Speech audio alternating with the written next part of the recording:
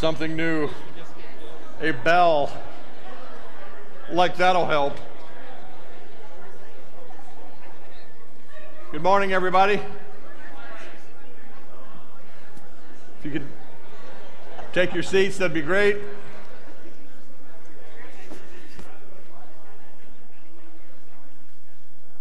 I don't intend to speak long this morning. Everybody says, oh, yeah, right.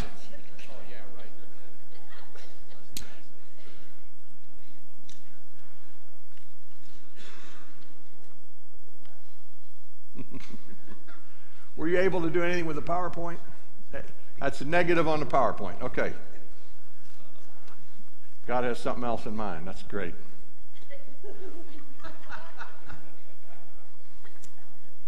I want to talk to you this morning about we have a little church byline that we have on our sign out front. You may have seen it. It's, uh, it's, it's very simple. Three lines, really. It's enjoying His presence, experiencing His power, engaging His purpose. I just want to talk to you about those three things. Beginning of a new year, and, and I, it's important that we understand what this is. Um, I'd like to begin in Psalm 16. This is a marvelous psalm. The uh, psalmist David here is thanking God for his provision, his protection, that God's hand has been on him. And he ends the psalm this way in verse 11 You have made known to me the path of life, you will fill me with joy in your presence with eternal pleasures at your right hand. You have made known to me the path of life. How many of you understand that God has to reveal himself to us? You have made known to me the path of life. It's, it's, uh,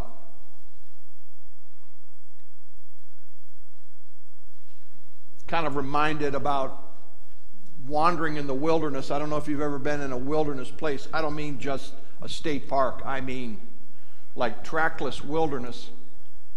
And uh, the kind that people don't come back from if you get lost. I've been in places like that.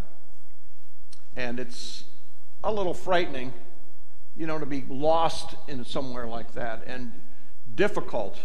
You know, there's no easy way to go. It's just you struggle, and there's swamps, and, and there's all kinds of hazards and things that you could wander into, not to mention um, parts of nature that would like to make you part of their menu.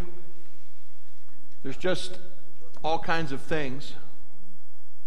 And then suddenly you step out on a path that's clearly marked.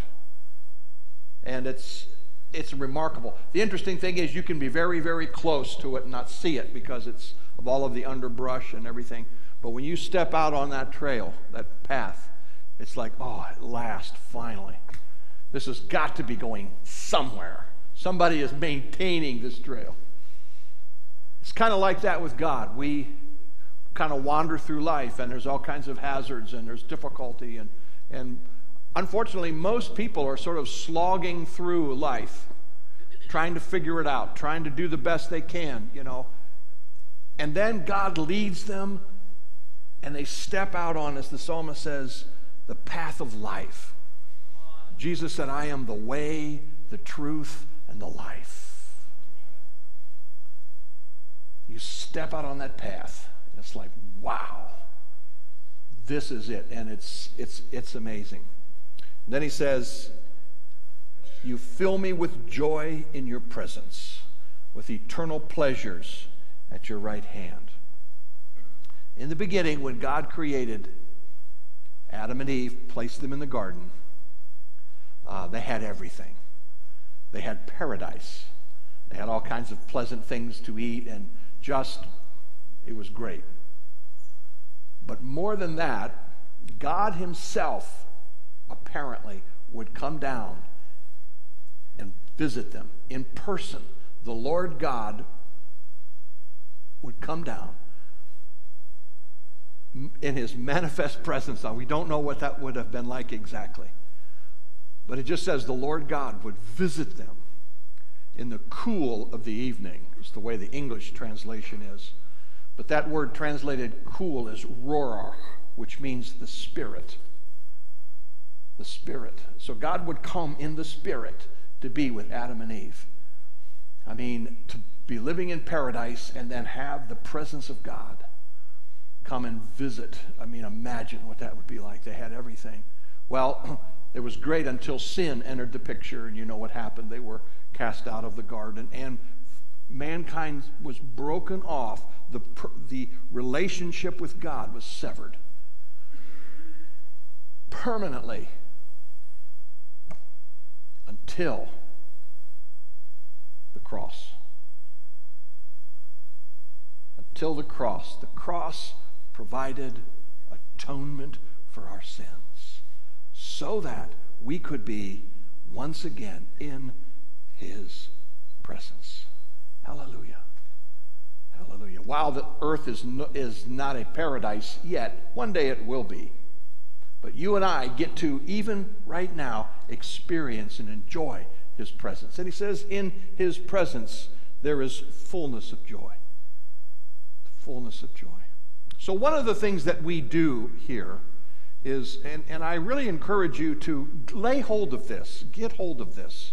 Um, when worship is going on, um, be cognizant of the fact that the presence of God is here.